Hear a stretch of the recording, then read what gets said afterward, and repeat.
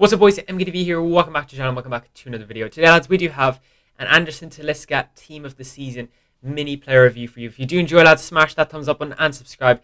Get us on the road towards 2k subs lads. And uh, yeah, let's get straight into this card review. 6 foot 3, high-low work rates, left-footed, 5 star, 4 star. This card lads, if you didn't do his one to watch at the start of the game, you might want to use him now. This card at the start of the game was different gravy. This card was unbelievable. Uh, obviously, it was like, you know, I don't even know, seven ratings less on them. But yeah, big, big upgrade. 92 pace on the face stats, 94 shooting, 92 passing, and 95 dribbling, 62 defending, 86 physicals. It looks really, really decent. Getting into the actual things, a 95 90 pace split as well. So yeah, nearly 93 pace overall, basically. Uh, and a really, really nice split there. The acceleration higher, I do tend to like in attackers more. Uh, overall, the shooting, 97 um, attack position, 99 long shots, 95 shot power, 92 long finishing, 86 volleys and 85 penalties. Shooting, you don't need to touch it all. You really, really don't. Um, next one, passing, um, 99 free kick accuracy. So he's going to be burning to free kicks. 95 short pass, 95 long, 93 long pass, and 98 curve. The traits this guy has, we'll go into them in a second, but it's absolutely unbelievable. 99 agility, 86 balance is a little bit lower.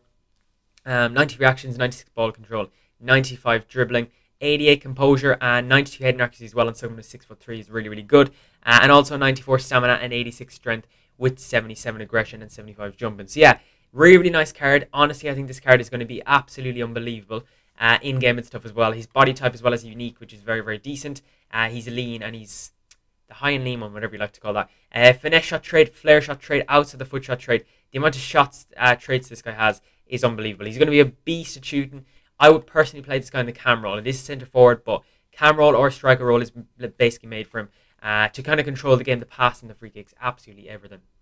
Currently, he is sitting at 850,000 coins extinct, so you can you just cancel out this card at the moment. Um, and yeah, I think his price may go down a bit. I'd say around he'll settle around I think around 600,000 coins, maybe 700,000 coins. And when they, you know, if they put up the price and stuff as well, I could see him going to 500,000 coins. But yeah, that's besides the point, lads. Overall, out of 10 for price of value for 850k.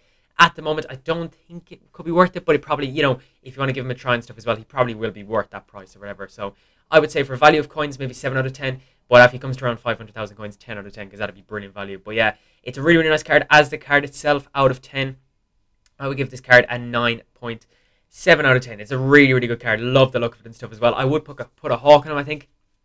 And it make the most sense in that uh, just up the pace a little bit more and stuff like that as well. But yeah, brilliant, brilliant card, lads. I would highly recommend getting him in your team if you can. If you get him in red picks and stuff, let me know. And uh, bigger shout out to everyone for watching, lads. Thank you so much for watching. I'll catch you boys next time with the next review, and I'll catch you boys next time. Peace.